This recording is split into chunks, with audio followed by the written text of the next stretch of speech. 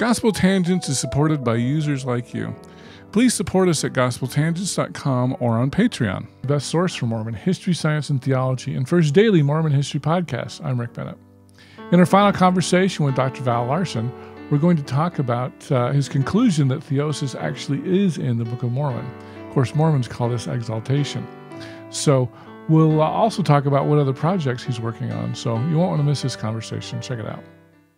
Now, I'm, I'm going to go on to a shorter description now of the of probably what is the most explicit uh, theosis story in in the scriptures. So let's finish with a final and in many respects the best example of theosis in the Book of Mormon, the second Nephi, the second person named Nephi. The discussion here is is, is shorter. Um, the it's it's all pretty explicit. Uh, this Nephi provides the clearest example of theosis in Scripture. He becomes the chief judge at the death of his father, Helaman, and in that purely human role, he's not a success. Almost all the Nephite lands are lost during his judgeship, and then only half of the, what's lost is regained. He's, he's the main politician, he's the head of state. Few politicians could survive as a leader in the wake of a military collapse of that magnitude. Unsurprisingly, this second Nephi loses his position as chief judge. The text blames the people for this loss the Book of Mormon is, among many other things, a sympathetic history of Alma family rule. I've got a whole theory about that, that the Book of Mormon is a handbook, a governance handbook for the Alma family that got repurposed at the very end. Hmm. And um, and I'm going to have that written up at some point. But um, but one one of the things it does is it never frames the Alma family as doing anything wrong. I mean, it, it does initially, when they go when they uh, deviate from Christ, and it shows uh, it, uh, that's that's the key part of the handbook. Don't ever turn away from Christ because it doesn't matter how much talent, success you have, you're you're a disaster unless you have Christ. But but but that the, the book that actually uh, illuminates the book a lot to think of it that way. But uh, but anyway, uh, even though the Book of Mormon is is letting Nephi off the hook here, the people wouldn't have. You know, you don't get to lose half your country as the head of state. It's it's very unlikely that his resignation was voluntary. Uh, other the other political party, we see them take over, and uh, this you you lost you lost half our country. All right, goodbye. No longer the chief judge, Nephi takes it upon himself to preach the word of God all the remainder of his days. Uh, we get the great story of about uh, Nephi and Lehi in the same prison where Abinadi was imprisoned, having experiences like Abinadi that are described in words that echo Abinadi's story. Uh, Nephi and Lehi are transformed into beings of light, like Abinadi was, and all and, and all the people they minister to become members of the divine council. If listeners want to know the details, they can read them in a, a 2023 interpreter article that uh, Newell and I did, uh, wrote Theosis in the Book of Mormon. Not Newell Bringhurst. What's that? Not Newell Bringhurst. Uh, yeah, Newell Wright. Newell Wright and okay. I. Yeah, my co-author. Yeah. Um, uh, so let's move on to the apotheosis of Nephi, who is given all God's power to move within and affect the world. The predicate for this conferral of power is the alignment of Nephi's mind with the mind of God. God speaks to Nephi using the same words Lamoni used when he equated his wife with divine beings. Blessed art thou. That's what he says to his wife after he uh, comes up and have, has that vision. So here's the quote Blessed art thou, Nephi, for those things which thou hast done, for I have beheld how thou hast with unweariness declared the word. And now, because thou hast done this with such unweariness, behold, I will bless thee forever, and I will make thee mighty in word and deed, and faith and in works, yea, even that all things shall be done unto thee according to thy word, for thou shalt not ask that which is contrary to my will. Behold, I am God. Behold, I declare unto thee in the presence of mine angels that ye shall have power over this people. Behold, I give you power that whatsoever ye shall seal on earth shall be sealed in heaven, whatsoever ye shall loose on earth shall be loosed in heaven. Thus saith the Lord God, who is almighty. At this point in his life, Nephi, like Christ, becomes an incarnation of God on the earth. Uh, I'm, I'm, that's I know that's an odd way of speaking, but I, I think it's true. He's an incarnation of God. Hmm. He has all God's power uh, given to him. As he would be the first to insist, he didn't live a perfect life like the Savior. Unlike the Savior, he wasn't born as an incarnation of God, but through the grace and power of Christ's atonement, he has become one with the Savior and one with God. He has become what Christ commands all of us to become perfect, even as our Father in heaven is perfect. He's a full fledged member of the divine council, and by all but the most abstract philosophical standards, is a God. Like the first Nephi during his vision, he knows what only God can know. Like the first Nephi, he moves from place to place instantaneously as only a God could move. Unsurprisingly, as was true for Ammon, some of the people declare more in truth than in error, quote, Behold, he is a God. That's them confounding a man and a God again, right? This is right in the Book of Mormon, a man who becomes indistinguishable from a God with all the powers of God. And so, uh, and uh, the other things I've uh, I've read symbolically and bringing symbols together to to make explicit the the uh, theosis that's happening there, and I think it's powerful. I think it's very cogent, uh, and symbolically, uh, it actually is is in in a way telling a deeper truth than this narrative is. But this is the narrative where it's made fully explicit that Nephi is given all God says. You have anything that you say happen can happen. Uh, uh, you have my power uh, and divine powers, and then the people start calling him a god. Uh, Nephi's dual citizenship on earth and in heaven, but primarily in heaven, is signified like that of Alma the Younger by the last thing we're told about him. His death was not witnessed or recorded. All we know is that he departed out of the land of Zarahemla, and whither he went, no man knoweth we are left to infer that perhaps like Moses, this Nephi was buried by God, or that like Elijah, without dying, he passed into from earth to heaven. Uh, these ambiguities uh, in how he passed separate him from ordinary mortals, again, positioning him between earth and heaven or just in heaven. Taken together with the account we have of his receipt of divine power, this Nephi becomes our best scriptural example of how a, how mortal man receiveth all that my Father hath, therefore all that my Father hath is given unto him. He has become a perfected Son of God, like his master and exemplar Christ, and has thus become a divine being or a, a, another incarnation of God in the world. So let's wrap things up here. I'm sure your, audience has had way more than enough of me. Um, uh, while some scholars have suggested that theosis is a Nauvoo addition to Restoration theology, evidence suggests that it was present in the Book of Mormon long before the Nauvoo period. The fact that theosis is independently articulated in the Book of Mormon and the King Follett Discourse is evidence that the doctrine is an integral part of the gospel. There's no reason to believe Joseph saw theosis in the Book of Mormon when he translated the book or or that he developed his understanding of theosis from reading the Book of Mormon. Our ability to see it there, apart from this Nephi story, I, I would say, is a function of insightful modern scholarship and voices speaking from the dust at Ugarit and other places that have given us an understanding of what was happening in Lehi's Jerusalem that Joseph couldn't have had. So the two articulations of the doctrine are independent, and our understanding of theosis is made richer by these related but distinct articulations. In his King Follett sermon, Joseph clarified aspects of theosis that are not fully explicit in the Book of Mormon. Joseph's pronouncements about the ontology of God and man are particularly forceful and clear.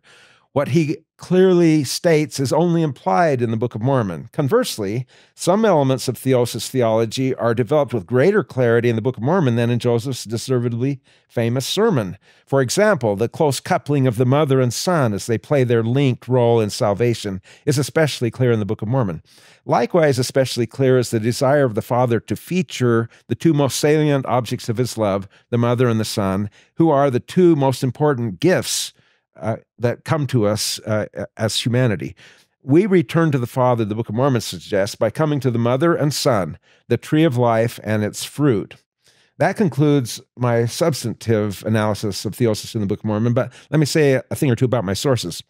The first article that set me on the path to this analysis was Dan Peterson's Nephi and his Asherah, which uh, Rosalind also mentioned as something right. she was familiar with. Uh, that led me to Kevin Christensen, who uh, open, whose whose own contributions are significant, but whose biggest contribution was to bring Margaret Barker, the great Methodist scholar, to the attention of Latter day Saint community. Margaret's voluminous work on the Old Testament converges with LDS theology on a remarkable number of dimensions. Have you ever interviewed her? Probably no. You need to give me her email address. uh, get a hold of uh, get a hold of Kevin Kevin Christensen, who's on the interpreter board, because because he's he's pretty good friends with her. Okay. Actually, uh, talk, talk, when you interview Dave, uh, talk with him about it because he's been in touch with her too. Okay. Um, uh, she she's I think she's read those books of uh, Dave's. I think she liked those books of Dave's oh. and some of what he was doing. I'll be talking to him in the next week or two. Right. Um, uh, Margaret especially highlights the temple and the Divine Mother. Uh, other on Heavenly Mother in the Old Testament, I found uh, two books particularly valuable. Uh, Dever's "Did God Have a Wife?" The answer yeah, is William yes. Dever. He, I love him. He's amazing. And uh, Raphael Patai's "The Hebrew Goddess." Uh, my broad outline of the Abrahamic religion is pretty uncontroversial. In my articles, I cite a number of biblical scholars who support various claims I make. Of course, none of them agree with with my analysis uh, uh, or each other uh, in every detail. But given the thinness of the evidence, our uh, reasoning is is based on. So we don't have that much from the Old Testament time. It's not surprising that there's some degrees of disagreement. It's actually, but but on this point about the uh, the divine council as the older theology of Abraham, that's really not a controversial point at all among the secular Old Testament scholars. But let me finish up by mentioning uh, Dave Butler again. uh, Dave makes a very important point. He has said that if the Old Testament scholars were to suddenly believe the Book of Mormon is what it says it is a reliable, detailed, ancient manuscript from the time of Josiah, they would trample each other to death in their rush to get a copy. And having read the book, they would significantly revise their understanding of the Old Testament. Among other things, they would get on board with Margaret Barker's work because, like the Book of Mormon, Margaret sees the Old Testament Yahweh as Christ and they would shift from a purely evolutionary model of sacred history to a dispensational model in which God reveals his truth at various points in history, only to have the people turn away from it. Uh, human understanding of God in the wake of these restoration often evolves, and that's what I was arguing with the Abinadi point, uh, sometimes towards deeper understanding, uh, uh within as with Abinadi or, or after Abinadi, but more often toward heresy and the loss of truth. The bottom line is that if the Book of Mormon is what it claims to, to be, evidence about Old Testament times is much less thin for Latter day Saint scholars than it is for those who don't have the Book of Mormon. As I've argued in this presentation, the Book of Mormon fits in very well with what scholars tell us was going on in ancient Israel at the time of its opening. But it adds something very important. It clearly testifies that Christ was a much bigger part of events in the Old Testament than secular scholars realize. And that's on the that's on the scholarship point and on the theology point. I've already talked about it. It it uh, what what what it does is it links us back to that older theology where there is a corporeal father, there is a corporeal mother. We are of a kind with them, and this is the most profound and distinctive uh, thing about the Church of Jesus Christ of Latter Day Saints. And if we're right on that, there is a really important respect in which we are the one uh, the one true church in the thing that matters most: who is God, what is His relationship to us, and who are we right? That's that's a those are really important points. So, and that's really where I wanted to go with this. I asked Rosalind this question, and I want to ask you um, because the biggest criticism of the Book of Mormon for Protestants and you know Catholics and whatever is that there's way too much Christology in the Book of Mormon, especially the Old Testament period. Right and so they're saying, well, that's just showing Joseph's biases. That's a 19th century theology. Uh, so how do you respond to that? Well, our our uh, counterclaim is that uh, the Deuteronomists took took the corporeal God out of the scriptures, and and the secular scholars actually agree with us on this point. I, I mean, the argument I'm making is that um, actually the theology we're defending is the Abraham theology, and that's what the scholarship would tell us. Uh, so, so uh, like if you go to um, the Catholics and start uh, confronting them with this older theology, it's problematic for them. They have to say something like this. They have to say that, um, well, understanding evolved across time toward the truth. So, so in the earlier period, the Abraham and the people of that time had a faulty understanding, and but it, things kind of we of didn't get it until Christ was born. Basically. well, well, no, they would be saying uh, it, but that understanding dramatically improved when Josiah came along. Oh, Josiah's Deuteronomist revolution was was what made finally got God right. So Okay. so so they had God wrong until so that moment. Josiah is a saint, not a sinner for them. Well, well, more of a well, he is for for the. Bible, right? For the for, for the. I mean, this is. Uh, uh, it- somebody has to be willing to read the Bible against the grain, at least on the Josiah story. Josiah is the great hero in the in the in the Deuteronomist Bible, Right, but he's not the great hero in the Book of Mormon. right. If you read the Book of Mormon, Lehi's Well, not really going along with it. Josiah by name, at least. No, but but he was a contemporary of Lehi. Right. I, I mean, uh, he was king when Lehi was uh, uh, all the Lehi's sons were being born, and all this stuff was happening at the time of Lehi. And And Lehi had to get out because he didn't like Josiah. uh, well, Josiah died, but uh, Josiah's theology was taking. Uh, Le- Lehi says he had to leave because he was teaching that there was a God with God, there was a Messiah, and the people were going to kill him because he was teaching that there was this other God with God, the Son, the Messiah. So, and that's uh, that's exactly what Josiah was doing was throwing out of the temple all the son, the sons. Uh, I mean, they had All tokens the of sons of God. yeah, they had to- Moloch yeah. and Baal. Well, well, I don't know about the no with Well, you don't like Moloch, but Baal for sure. Well, Baal, uh, uh, their their name for Baal was uh, Yahweh. Yahweh and Baal were alternative names for the same being, probably. Yeah. In other words, in the in the Canaanite theology next to them, they were calling this being Baal, this son of El Baal, and in the Hebrew in Israel, they were calling him Yahweh. And you can see how you start to get a fight then, right? What's the right name? And you guys are believing in the wrong one. Well, uh, and we're, and and back and forth. Well, and it goes actually, we have the same thing with the Protestants, right? Uh, who has the true Jesus? Yeah, exactly. But it kind of goes to that. Where's that story where the the prophet called down lightning and he got it all wet yeah, uh, because it was like, well, who's the real God? right, And Yahweh was the correct God, but he was going against Baal, wasn't he? right. Yeah, that was against the priest of Baal. But you know, in that story, uh, so the people who um, who like, read like uh, Margaret does, they they are because it also mentions, and over on the side were a few of the priests of uh, priests of Asherah. See, it's, Yeah. it's it's in that story. It's uh, Is it Elijah that did this? I'm trying to, you know, I I, I can't. I feel bad that I can't remember that. yeah, we're, we're uh, this is embarrassing, but uh, but but um, but I I, I remember from the story that uh, that um, the Ash the Asherah priests are over on the side, and and it's like they're kind of added in. They weren't part of the in, initial story. So someone like Margaret would read that and say, uh, "Yeah, there was real enmity toward Baal." But it, but they went and revised after the Deuteronomist reforms and tossed in the Asherah folks because it didn't have that kind of enmity toward Asherah uh, running through the Old Testament. okay. I mean, there there's places where it's there, but it, it's not the same way as with Baal. And you can make the you could you can make the argument, and I think Margaret does pretty consistently that the Asherah stuff is a distortion, like Josiah and post Josiah distortion of the text. And she finds places where she can see the Hebrew being corrupted and tell you what the original thing said Hmm. that was more complimentary. Uh, and then they turned it into a condemnation instead of a, of a compliment. So, um, and I don't have the kind of Hebrew to dig into that, but uh, But- Okay.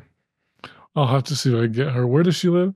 she's in England, so Oh, Southwest won't get you there. I guess I'll have to do a Zoom on that one. But all right. But she comes over here once in a while. I don't know if she. I mean, she she's been over here to the Temple Studies group things.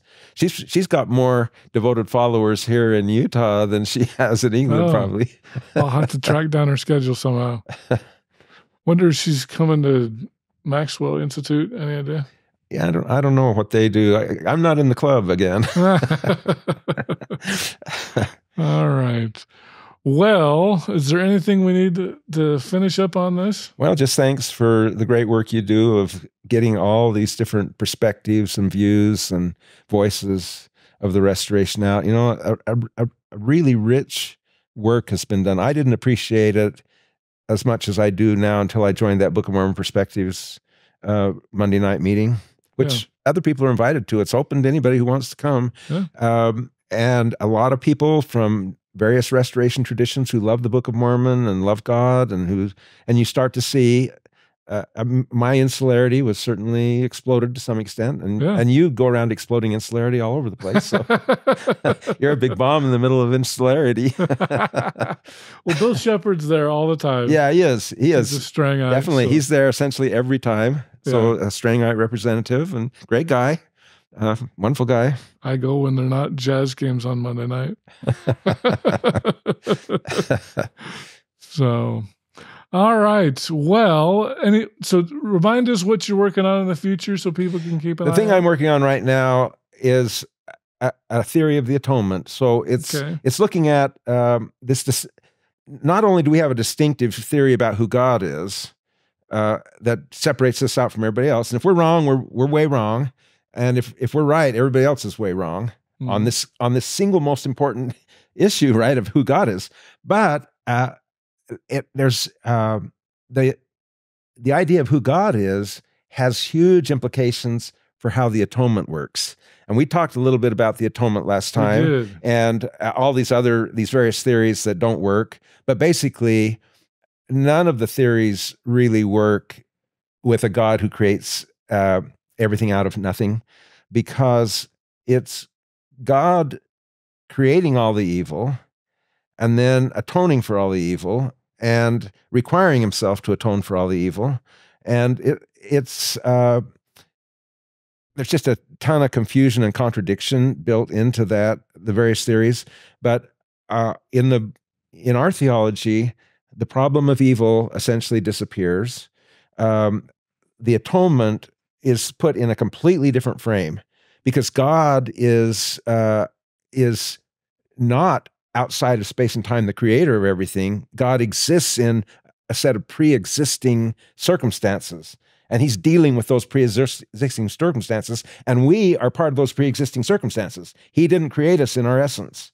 Okay. the in- intelligence is uncreated. Well all kinds of interesting things follow from that theological shift and and what i do is uh, uh, working with Newell there i work out uh, the theology of that and i'm And it's not penal substitution, Christus Victor, satisfaction. What are the others? I Well, it, it the thing it gets closest to is moral influence. Okay. And we talked about that a little bit in the in the previous interview. But it's it's not just that. I, I I haven't come up with a new name for it. And if I was if I was a better Terryl marketer, Givens. a better practical marketer, I'd come up with a really good uh, brand name for it because it's distinctive enough that it, it needs a brand name to really catch hold. Terryl Givens talked about consequential something. I can't remember how. Terryl understands this theology. He he understands the distinctiveness of this theology very well, and he says a lot of things that are totally in harmony with what I'll be talking about. I, I, I, if Terryl reads this paper, he he, He doesn't read anything yeah unless he has to. you're right. But if if he were to read this paper, he would. Uh, he would recognize pretty much all the claims that are made there. The thing that he would maybe uh, not, it would just be uh, the specific interpretations of passages of scripture, and it's a different way of anchoring it too. I mean, I, I, I I'm, I'm making a little bit of advance in the details, but the, the fundamentals. He understands how much important it is that God is not outside of time and is not the creator of all time. That that has huge theological implications. Terryl fully knows that. Okay. So this paper's coming out. Do you have any idea? Well, frame? uh, I I've, I've I have forever. it has two parts to it. The first part about sin and death, and the second part about uh, uh, justice and basically justice, and the second part about mercy. I'm just about done with the justice half of it. I haven't started the mercy half yet, and and it So might be a year out. yeah, definitely. Well, yeah, by the time it gets published, probably. Yeah. Yeah. Okay. Anything else? Um, well, I just had a paper. I've got a paper coming out which is looking at uh, Moroni uh, and the the five endings that Moroni composed for the Book of Mormon. I talked about one of the the how uh, his last ending he got from uh, from reading the the, uh, the last writer in the small plates. Uh, that came out of that paper, but it, it it's just astonishing to, to watch uh, Moroni mature as a person and as a writer as he writes five sub, uh, sequential endings for the Book of Mormon over a period of many years. Like its first ending, he's just a he's writing it in the immediate aftermath of uh, of uh, the, the destruction at the battle, and it's it's very short. It's like five verses, and he's he's just saying, you know, I'm I'm barely surviving here. My dad told me to write something. That here it is. He's told you. Uh, anyway, and and then uh, and then he and then he this next ending, he just dumps on us. He he missed the Dale Carnegie course uh, on uh, how to win friends and influence people because he just dumps on us moderns. We you, you, people are so worthless and wicked, and and then and he's, he's rhetorically really ineffective, and I show that uh, in that uh, that ending, and and it, it just gets better with each subsequent ending. He gets more and more powerful, and by the time he gets to that, uh, all of his faults as a writer are dropping away by the time he gets to that last ending that we we all know and love and I and I kind of show how uh, how he matures across time. And he says in there, uh, you put yourself in danger of hell, hellfire if you focus on my weaknesses as a writer. but uh, but the argument I make is his weakness is actually a strength in that it this feeds into the historicity of the Book of Mormon because you're seeing a guy. I mean, this, the kind of genius it would take to to show uh, when you're writing Moroni across time, to show him changing and growing as a person in his in his view of us, the moderns, and in his rhetorical effectiveness is, I mean, it's just astonishing uh, level of uh, literary sophistication. If that were put in uh, by Joseph Smith because he was such a, a literary genius. So uh, Terryl Givens, or not not Givens, but uh, Grant Hardy does a great job of framing this stuff. Uh, mm-hmm. Uh, he's he's one of my favorite uh, Book of Mormon commentators, and I think understanding Book of Mormon. Have you, have you interviewed him? I have not. That, he, I, have asked him, and I think he said no, if I remember. Oh, okay. Well, okay, but understanding the Book of Mormon, I think, is the best thing done on the Book of Mormon in this century, and and it's among the best things ever done on it. And what he does is he brackets the question of historicity. But then he goes and shows how sophisticated the Book of Mormon is as a, as a work of literature. And I'm, in a sense, building on what Terryl does as I show how um, how Moroni grows across time in those interviews or in those uh, endings he writes. And it's just so so if you want to be the have a secular account, uh, if you what what uh, Grant does is he puts you in this position. You can say that Joseph wrote it, because he brackets the question of historicity. But you you have to attribute as as we read the text the way the Jews do and see more and more depth in it, you have to uh, constantly attribute ever greater literary genius to Joseph. You know, and how plausible is that uh, at the end of the day? So so then we then we either get Joseph, the towering literary genius, or the farm boy translator of, of revelations from God. You know, take your pick. And and the Lord doesn't force us on this. I mean, you can make a case for both. I mean, um, you can make, uh, if people, we have to choose the world we want to live in. We can live in the world of, where God does uh, exists, reveals, and, and is involved in our lives and everybody else's lives. Uh, or we can uh, choose to live in a world where he doesn't exist and we get, and the, and we'll get the, we'll live in the world, whichever world we choose. And, and there's enough evidence to let you choose either one of them. So uh, it makes this earth a good test of our preferences. That's another thing Terryl Givens is really good on. He understands that plan of salvation is God's going to let us all get the thing that we choose, that we want. And uh, if we want to have a secular type uh, existence without Christ and the atonement, we can have that and we can have it through the eternities and that some people are going to prefer it satan and his bunch prefer they had a satan actually is uh, I, I, talk about this in the atonement paper say uh, god is a realist so he's totally anchored in reality a reality outside himself satan is uh, a romantic, a fantasist, and and the the English romantics. I'm talking about um, like uh, Shelley and and Byron. They really admired Satan in Milton, Milton's Satan, and they aspire to be like Satan, uh, uh, uh, creators of their own realities. Uh, that's the romanticism. I'm not bound by existing reality. I create my own realities. And Satan lives in his own created reality, but but it, reality does exist. You know, this is so. It, when we start creating our realities, look, this is a critique of the church. Uh, the, uh, the, way the, the the the the church's critique of existing culture you can you can make yourself anything you want to right? The libertarian uh, liberal libertarian uh, woke uh, idea now is we can make ourselves anything we want to be. I, I, can make my body whatever it is. I can make my sex my gender. All this stuff is completely mutable. And uh, that's uh, in my my atonement argument i i'm saying that is a species of uh, one of the things I say in this paper is Satan gets us to believe in this world, in his gospel, in his pre-mortal plan, rather than the um, God's plan. Hmm. It, it's showing up in in the evolution of our culture, which uh, gets rid of reality and lets you create your own realities. It, it's there in the theology, the theology of Orthodox uh, of Orthodox Christianity, uh, the God outside of space and time, unconstrained by anything else that was the God that Satan conceived himself to be. And so the Satan's plan in the uh, pre-existence has a lot in common with, say, Calvin's uh, theology and Luther's theology. So I, will get into that in the in the atonement paper. Cool. Looking forward to it. You going to bombs in the fall? Yeah, uh, cool. I hope to go to it every every year, and, I'll, and we'll be back next summer. Uh, okay. every summer's here and every uh, Christmas. Okay. Well, great. Well, Dr. Val Larsen from James Madison University, thank you so much for being here on Gospel Tangents. Well, thanks for the work you do again. Thanks. I hope you enjoyed our conversation with Dr. Val Larsen. Val, thank you so much for sitting down with me. It was super fun, as always, and uh, looking forward to seeing you again in the fall.